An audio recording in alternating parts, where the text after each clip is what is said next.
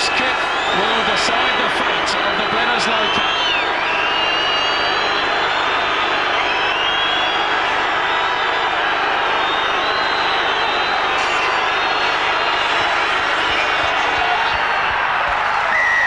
What a player, John Eales. His kick has retained the Bledisloe Cup. Look at the excitement. Well, they're a great team, and it's been a great victory, no doubt about it. Well, John Eales. Spare a thought for James O'Connor. He does not care. He has ice in his veins, this kid. Look at the size of him. He can sidestep. He can then run through people. It's amazing. 20 years of age. He scored the try.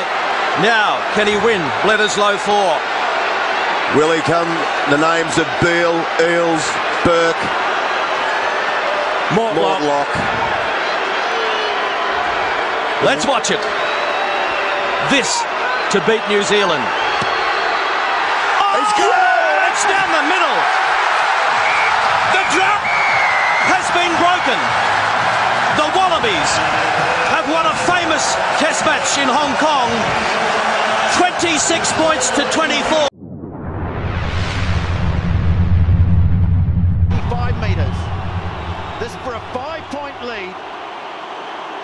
And just a couple of minutes to go. Oh, he's given it plenty. He's given it plenty, and it's over.